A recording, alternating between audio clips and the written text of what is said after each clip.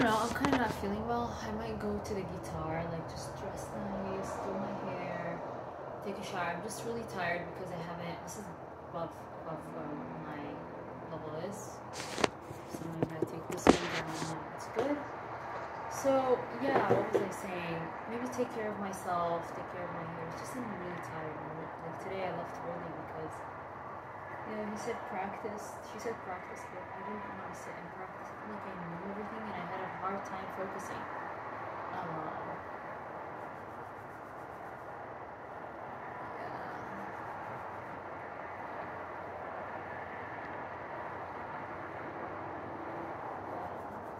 I need to go for after hours for sure on Tuesday.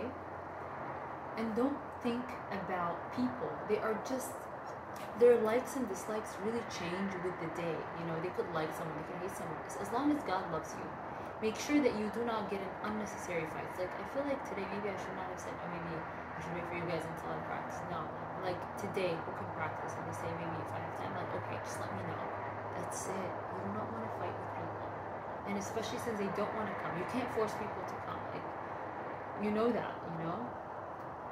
But I guess that's for next time. Like, just tell them, just let me know. I'll be here.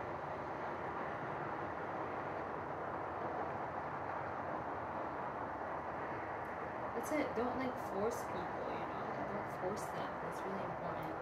And um, whenever they're doing procedures, just put my hand like this. If they're gonna do a dilated procedure, yeah. I mean, it's better that they're not working with me than they were. Just go with people that you want to work with, people that you feel comfortable working. That's it.